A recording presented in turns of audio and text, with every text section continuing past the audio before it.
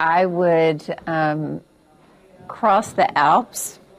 I would uh, walk over hot coals. I would do anything to work with Will anytime because, first of all, I like to laugh, and um, so I get to come to work and laugh every day.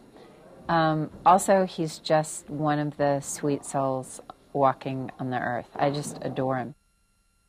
I would not trade my job right now with any actress in the world. I, it's like I'm, I'm. There's nowhere else I'd rather be. This is honestly one of the best parts of my whole life doing this film because it's just every single day is a total adventure. You have no idea what's going to happen.